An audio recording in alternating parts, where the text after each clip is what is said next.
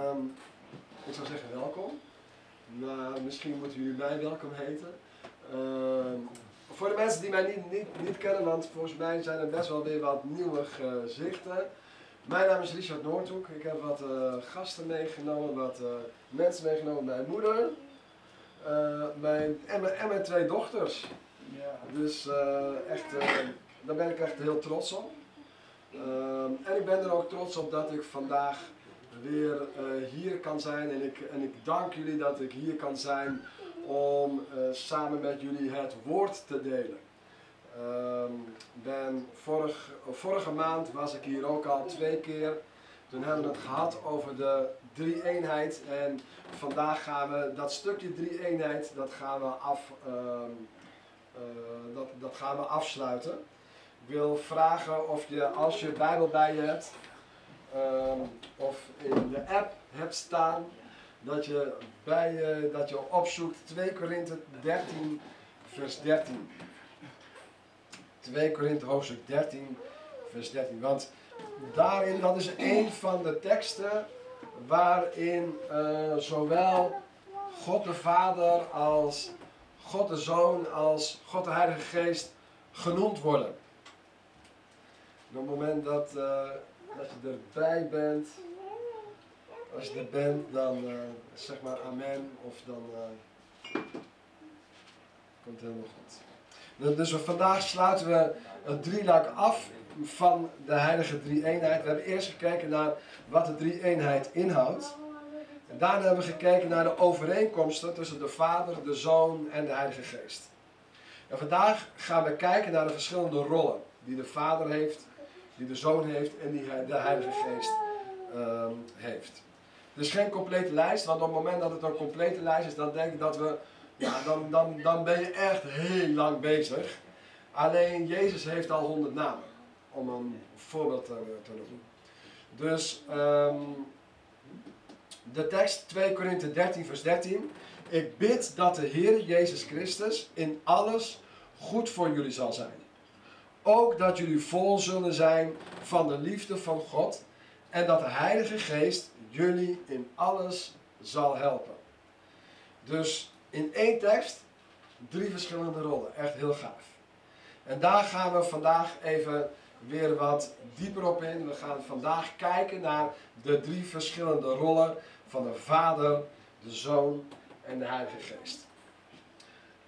Um, misschien, een paar zanden, misschien dat, kan, die, uh, kan die deur even open, dat wat meer frisse wind. Nee? Nee, dat gaat niet? Nee. Oké, okay. prima. Is goed. Dan, uh, ik heb het geprobeerd, is goed. Dankjewel. Um, vandaag gaan we kijken dus naar de drie belangrijkste rollen die de Vader, die de Zoon en die de Heilige Geest hebben. Nou, ten eerste gaan we het hebben over God de Schepper.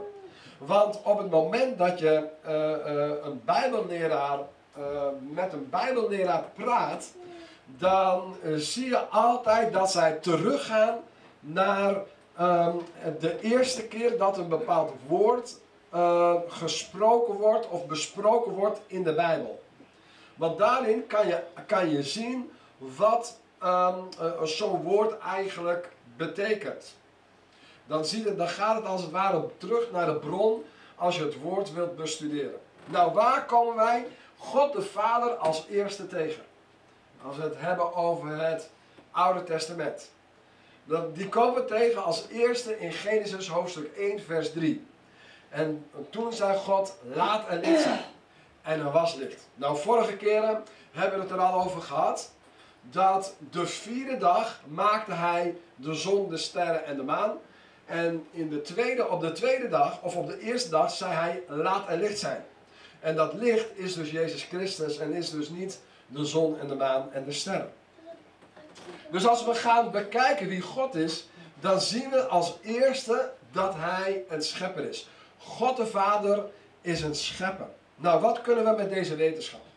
De wetenschap dat God de schepper is van de aarde. Hij is de maker van alles. En als jij een maker bent van iets, dan betekent dat ook al automatisch dat jij de eigenaar bent. Op het moment dat ik een auto maak, dan ben ik de eigenaar van die auto.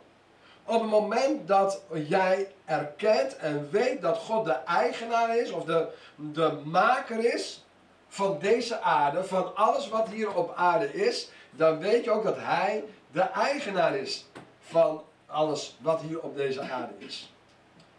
Dus jij kan zeggen dat je iets hebt gemaakt of gedaan, maar als je gaat kijken waar het vandaan komt, dan komt het allemaal hierop terug. Als hij de eigenaar is, als hij de eigenaar mag en kan zijn, mag kan, en kan hij zelf beslissen wat hij ermee doet. Daarom geloof ik zelf niet dat God afhankelijk is. We hebben het, hè, God is niet afhankelijk van geld, van ons menselijk geld.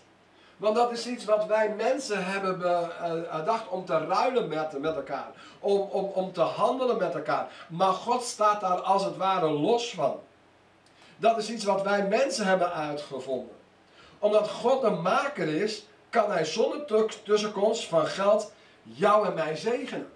Hij is, zoals ze dat noemen, Jehovah Jireh. Hij is de God die voorziet. Jehovah Jireh, de God die voorziet. Dat betekent op het moment dat wij hier met uh, eh, 20 man zitten, ik bedoel, en, en ehm, eh, hij ziet deze groep met mensen, dan weet ik zeker dat hij, hij ziet van joh, dit zijn geweldige, dit zijn mensen die mij trouw zijn. En ik ga voorzien in zaken waar, ehm, die we nodig hebben. Dingen die je nodig hebt in je eigen leven. Een baan, Misschien op het moment dat je financiële problemen hebt, dat een, een, een uitweg, genezing, dat soort uh, zaken. Maar ook voor de, voor de uh, kerk. Ik bedoel, wij hebben zelf ook een kerk gehad. En het mooie, mooie is, we hadden een kleine kerk, maar God heeft altijd voorzien. Altijd. Er is geen enkel, er was geen enkel moment dat wij, toen wij een kerk hadden, was geen enkel moment dat wij in het rood stonden. Dat wij geld te, kort hadden. God voorzag altijd. Geestelijk en materieel. De tweede rol is God de Vader.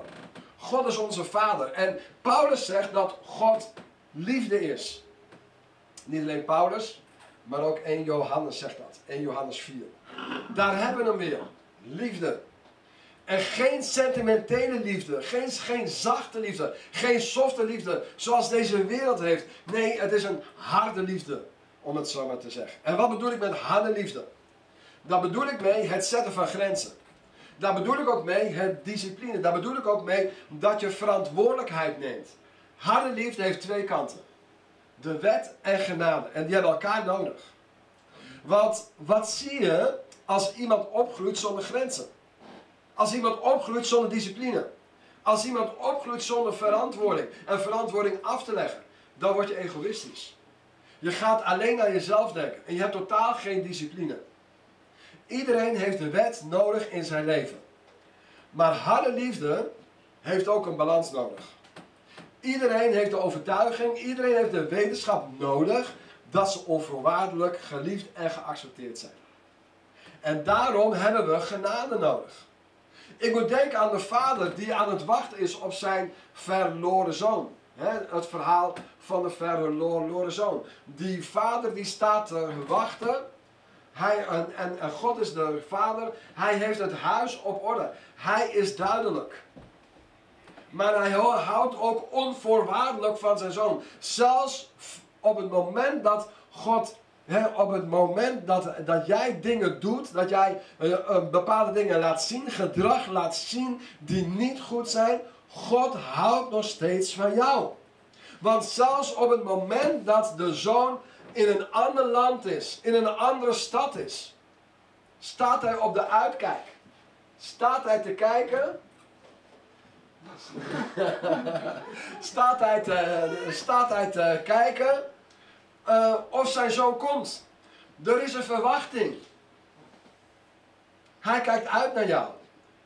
En op het moment dat je nog niet jouw leven hebt gegeven aan hem, geef het vandaag. Want het heeft geen zin om je leven zelf te leven. Want ons leven is zo beperkt. Nou, God is ook een rechtvaardige rechter. Nou, we hebben het al gehad over de wet. En God heeft de wet gemaakt om recht te doen. Want God heeft verschillende kanten. Het is niet zo dat God alleen maar liefde is. Of alleen maar rechtvaardig. Of. God is, heeft heel veel verschillende soorten kanten. Het is een soort diamant. Hij is rechtvaardig. God is zonder zonde. Als je geen wet zou hebben, dan zou er geen overtreding zijn. Maar dan kan de mens ook nooit zo heilig worden als dat God is. Want God zegt, hij zegt, wees heilig, want ik ben heilig. Omdat hij rechtvaardig is, kan hij niet afwijken van zijn oordeel. Als hij geen oordeel spreekt over zonde, dan is hij niet heilig meer, dan is hij niet rechtvaardig meer. Want zonde moet geoordeeld worden. En de wet geeft een standaard. Wat je wel moet doen en wat je niet moet doen. Maar het probleem van de mens is dat wij op de langere termijn gaan leven voor de wet.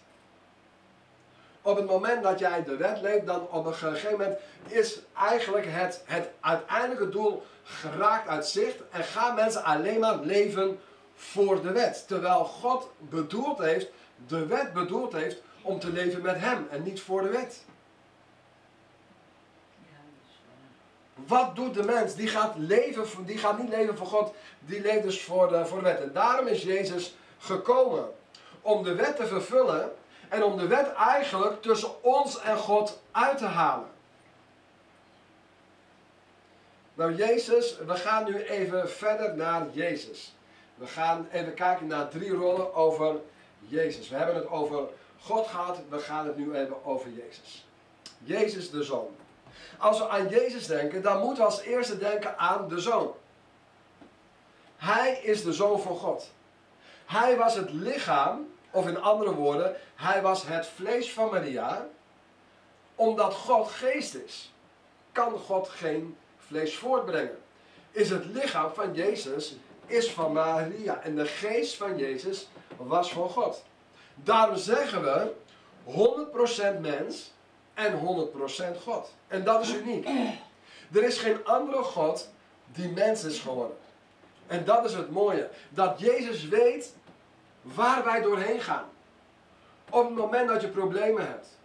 Op het moment dat je depressief bent. Op het moment dat je ziek bent. Op het moment dat er dingen gebeuren. Op het moment dat je weerstand krijgt. Dan weet hij weet, Jezus weet waar wij doorheen gaan. Want hij is mens geworden. Hij is mens geweest. En hij werd geconfronteerd met de zaken van deze wereld. De gevoelens waar jij en ik mee te maken hebben, heeft hij ook meegemaakt. Johannes 5, vers 19. Het is waar wat ik zeg, zei Jezus. De zoon kan niks uit zichzelf. Hij doet alleen wat de vader hem voordoet. In feite doet de zoon hetzelfde als zijn vader. Alles wat je Jezus hebt zien doen in deze wereld, heeft hij afgekeken van zijn vader. Johannes 10, vers 30 zegt: De vader en ik zijn één. Hij was mens. Net voordat hij aan het kruis moest sterven, zweette hij bloed. Waarom zweet hij bloed? Omdat hij zo de intense druk en weerstand in zichzelf voelde. Hij wilde niet. Maar hij wist dat hij gehoorzaam moest zijn aan zijn vader. Ook al was hij mens. Overal waar hij ging, genas hij mensen. Dus dat is de andere kant weer. God in de gedaante van de mens. aan de ene kant heeft hij menselijke zwak, zwaktes. Hij had geen zonde, maar wel menselijke zwaktes. Maar aan de andere kant was hij wel God in het vlees. Want iedereen genaste die hij tegenkwam. Nou, Jezus is ook het woord. Johannes 1, vers 1. In het begin was het woord en het woord was bij God en het woord was God. En het woord was bij God in het begin. En in vers 14 staat, het woord werd een mens en leefde een tijd lang onder ons. Hij was vol van genade en waarheid en wij hebben gezien hoe groot hij, de enige zoon van de hemelse vader is. Nou, waar kennen wij deze woorden van? Waar ken je Johannes 1 vers 1 van? De, hè, waar doet het ons aan denken? In het begin was het woord. Dat doet ons denken aan Genesis hoofdstuk 1.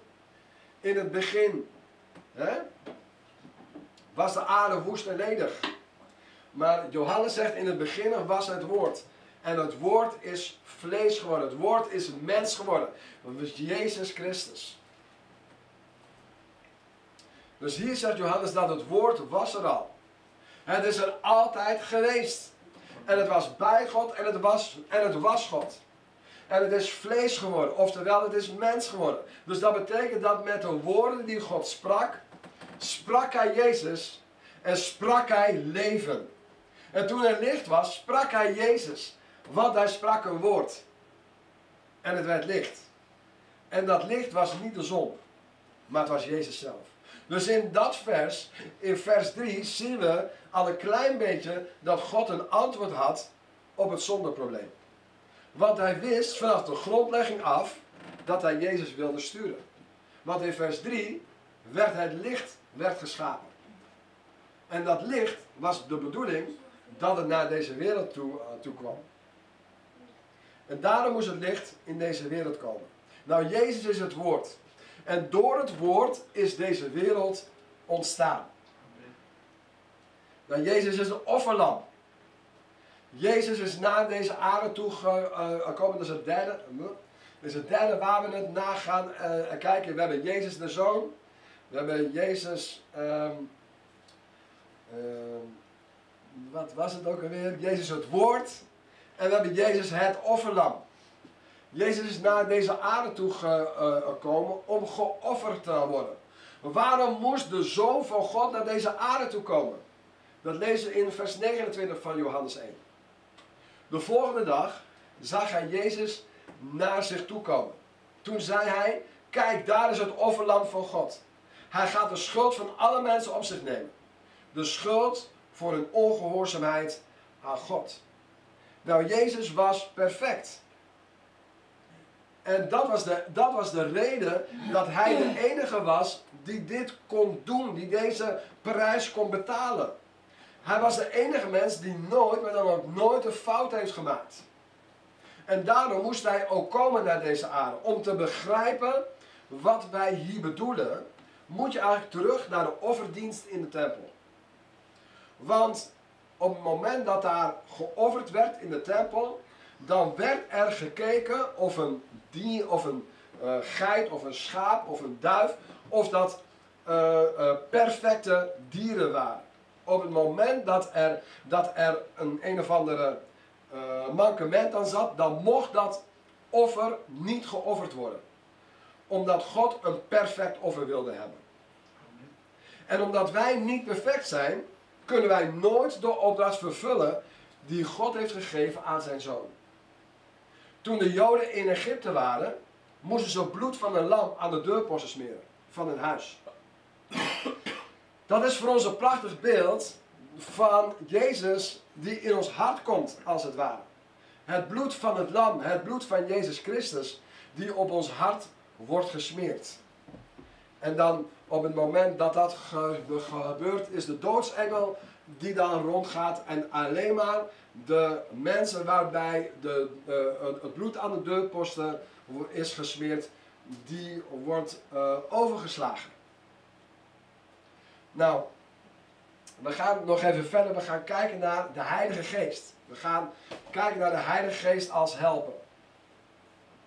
De, de Heilige Geest, Johannes 15, vers 26, zegt: Als ik bij de Vader ben, dan zal ik mijn helper sturen. Dat is de Heilige Geest, de bron van alle waarheid. Hij komt van de Vader vandaan en ik zal jullie alles over mij, hij zal jullie alles over mij vertellen. Nou, sinds de uitstorting van de Heilige Geest op de Pinksterdag hebben wij een helper. Iemand die ons helpt om te leven voor God. Iemand die ons helpt om andere mensen te vertellen over Jezus Christus. Ik ben niet bezig elke avond om de Bijbel voor te lezen. Van kaft tot kaft. In het boekvertaling, in de Bijbel in gewone taal, in de basisbijbelvertaling. En dat doe ik um, uh, elke avond via TikTok. Dus mensen, als jullie kijken, van harte uitgenodigd. En op het moment dat jullie zelf TikTok hebben, dan uh, mogen jullie zelf ook kijken. Hashtag de leeuw van Juda. Ehm, even kijken, iemand. ehm, dus dat gaat goed. Maar het is best veel. Ik bedoel dat, we van, dat je van kaft tot kaft aan het le- lezen bent. Hè? Dat, die Bijbel, dat is best wel veel. En we hebben een helper nodig die ons de weg wijst om de juiste woorden te zeggen op de juiste momenten. In 1 Korinthe 12 en 1 Korinthe 14 wordt verteld hoe de Heilige Geest ons helpt. In 1 Korinthe 12 wordt gesproken over wijsheid, over kennis, over geloof, genezing van zieken, het doen van wonderen, maar ook spreken van Gods woord is een gave van de Geest. Onderscheiding van geesten, heel erg belangrijk. In deze tijd is onderscheiding van geesten heel erg belangrijk, ook in de kerk van vandaag de dag. Niet iedereen heeft de juiste agenda. Niet iedereen eh, heeft het juiste met jou voor, om het zo maar te zeggen. En komt van God. Nou, ook klanktalen of tongentaal is van God. Ook dat is een onderdeel. Dit zijn de gaven van de Heilige Geest. En dat staat voor ons klaar. Dat is onze gereedschapskist als het ware. Wij mogen daar gebruik van maken op het moment dat wij bezig zijn met Gods werk. Want de Heilige Geest is onze helper. De Heilige Geest is als een pleitbezorger. In het oude Grieks heb je, ook, eh, heb je het woord parakletos. In de MBG-vertaling is dat vertaald met het woord trooster. In een nieuwere versie wordt dat als pleitbezorger genoemd. Nou, wat is een pleitbezorger? Je bent in een rechtszaal. Je wordt van iets verdacht. En dan is er een pleitbezorger die voor jou gaat pleiten, een soort advocaat. En die gaat vertellen dat jij onschuldig bent. In het Oude Testament komt het voor dat Abraham gaat bemiddelen voor het volk. En God wilde het dorp uitroeien. Volgens mij was het Sodom uit mijn hoofd. En Abraham begon te pleiten. Wat nou als er 50 rechtvaardigen zijn in deze stad? Wilt u deze stad dan, wilt deze stad dan sparen? Natuurlijk, zegt God, dan zal ik hem sparen. En hij gaat, hij gaat verder. Hij gaat, en als er 40 zijn, als er 30 zijn, en hij stopt uiteindelijk bij op het moment dat er 10 rechtvaardigen zijn. Mensen, ik heb nieuws. Op het moment dat jij jouw leven hebt gegeven aan Jezus Christus, ben jij rechtvaardig verklaard door Jezus Christus. Amen. Amen. En dat betekent dat op het moment, stel je voor, ik bedoel, er zijn ook andere kerken hier in eh, Zwolle. Maar stel je voor, er waren helemaal geen andere kerken hier in, in Zwolle. En op het eh, eh, moment dat er alleen maar dit kleine groepje was, dan had God alleen maar voor dit kleine groepje een stad bespaard. Zoveel waarde hebben jullie voor God. Amen. De Heilige Geest doet hetzelfde voor ons bij God. Dus hetgene wat Abraham deed voor het volk, doet de Heilige Geest voor ons bij God. Op het moment dat wij iets verkeerd hebben gedaan. En laten we eerlijk zijn, iedereen, heeft, iedereen doet verkeerd. Iedereen maakt fouten. Iedereen heeft uh, zonde. Of ze nou bewust zijn of onbewust. God is rechtvaardig. Dat hebben we gezien. Maar de Heilige Geest is daar en hij helpt ons. En hij pleit voor ons. En het is, wel, is het wel eens bij je opgekomen dat vanwege de mensen die nog leven voor hem, dat wij niet omgekomen zijn. Dat God ons nog niet heeft vernietigd. Wij leven in de genadetijd. Dat betekent dat, Gods genade, dat God genade heeft met, met ons. Maar de tijd van genade is niet oneindig. De genade van God is wel oneindig. Maar de tijd van genade is niet oneindig. De Heilige Geest als geest van God. En nu heeft hij God aan ons zijn plan bekendgemaakt door zijn geest. Want Gods geest weet alles. Hij weet ook de diepste gedachten en plannen van God. Dus 1 Korinthe, ik heb hem even vergeten welke tekst dat was. Ehm, als jullie dat willen weten, dan kan ik dat nog even nasturen. Eh 1 Korinthe in ieder geval. Het is eigenlijk wel apart om te bedenken, want Heilige Geest is, is de geest van een geest. Want God is geest. En de Heilige Geest is de geest van God. De Heilige Geest weet echt alles. En de Heilige Geest weet de diepste gedachten van God. En de diepste plannen van God. Nou, we gaan afsluiten. Ehm, want ik ben al nou, een beetje al een tijdje aan, aan het woord. Maar ik moet dan gelijk denken aan een tekst die veel moslims aanhalen als ik met ze spreek. Jij zegt dat Jezus God is, hè? Waarom wist Jezus dan niet de tijd, nog het uur dat hij terug zou eh, komen? Als deze tekst die ik net las mogen geloven, dan weet de Geest dat dus wel. Die weet dus wel wanneer Jezus, eh, wanneer Jezus terugkomt, want hij weet de diepte. Hij weet alle plannen van uh, God. Maar volgens mij is de tijd, wanneer Jezus ter, ter, terugkomt, is niet be, be, belangrijk hierin. Wat belangrijk is, is het gegeven dat hij ooit terug gaat komen. En dan vertaal ik het zo. Dat de Heilige Geest ons leert een heilig leven te leiden. Zodanig dat wij ons hele leven Jezus kunnen blijven verwachten. Komt Hij, dan is dat mooi, fantastisch, liever gisteren dan vandaag. Komt Hij niet, dan zijn we bezig nog steeds in het oogstveld van de Heer en gaan we door met datgene wat God van ons heeft gevraagd. Amen. Dat is hetgene wat ik had voor vandaag.